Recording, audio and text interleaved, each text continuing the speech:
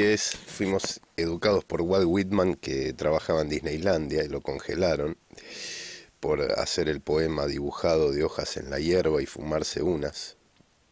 Y todo nuestro manual, nuestro repertorio de seducción es Walt Whitmaniano, totalmente machista.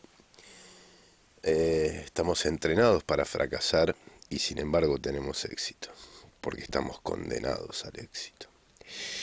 Así de bien nos va como país. En fin. Bueno.